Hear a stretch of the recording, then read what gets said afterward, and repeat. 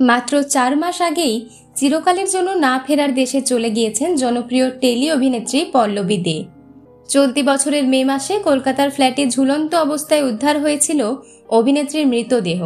মাত্র পঁচিশ বছর বয়সে তার এই আকস্মিক মৃত্যুতে একেবারে ভেঙে পড়েছিলেন তার অসংখ্য অনুরাগী থেকে শুরু করে কাছের বন্ধু বান্ধব সহ পরিবার পরিজন সকলেই।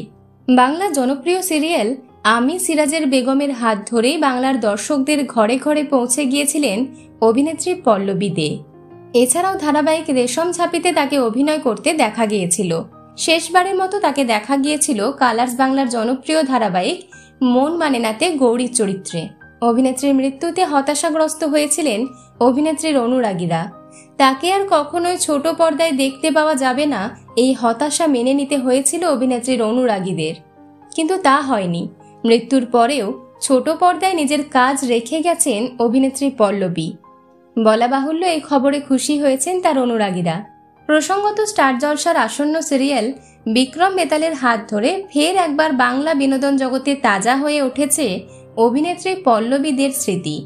মৃত মানুষ কখনো জীবন্ত হতে পারে না, কিন্তু টেলিভিশনে, রেডিওতে, ভিডিও কিংবা ফটোয় যখন আমরা তাদের দেখি, পুরনো স্মৃতিগুলো ফিরে ফিরে আসে। মৃত মানুষের মুখ যেন জীবন্ত হয়ে ওঠে। সেরকমই ফের টেলিভিশনের পর্দায় ফিরতে চলেছেন প্রয়াত অভিনেত্রী পল্লবী দে। প্রসঙ্গত আজ থেকে দেড় বছর আগে এই ধারাবাহিকের শুটিং পর্ব হয়ে গিয়েছে।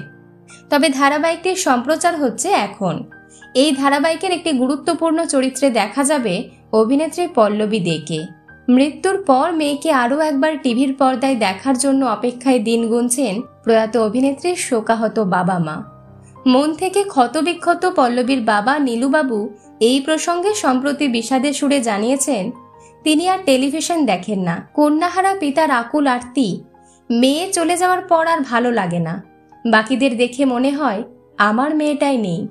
শুনেছি ওকে আবার দেখা যাবে। বুকে একরাশ যন্ত্রণা চেপে অভিনেত্রীর মা সঙ্গীতা দেবী জানিয়েছেন, আমার মেয়েটা কথা বলবে, হাঁটবে, চলবে, সেটা দেখতে পাবো। এটা ভেবেই আমি খুশি। শুরু থেকে অভিনয় জগতে ব্যাপক জনপ্রিয়তা পেয়েছিলেন পল্লবী দে।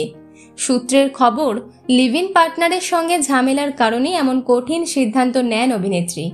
যদিও পল্লবীর মৃত্যু, আত্মহত্যা নাকি এর পেছনে রয়েছে অন্য কোনো রহস্য, তা আজও স্পষ্ট নয়। তবে পল্লবীর মতো প্রতিভাবান অভিনেত্রীকে হারানোর আক্ষেপ আজও রয়েছে অনুরাগীদের।